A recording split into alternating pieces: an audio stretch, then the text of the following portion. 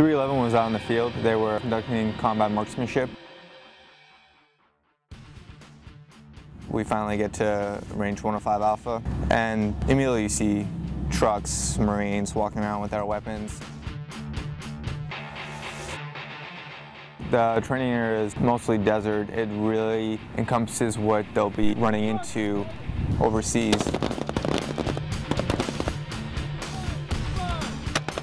Then we get onto the line. Uh, on the line, it just these loud poppings going off constantly.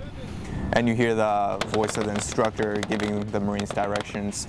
Anything from pivoting right or pivoting left, testing their reaction times. When a Marine's on the line, they're completely focused on the target. They're focused on the objective.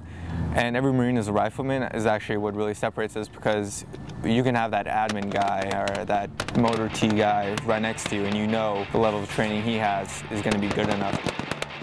It is what you expect when you come into the Marine Corps. When you actually get out there and do it, I mean, anytime you get to shoot, it's a good day.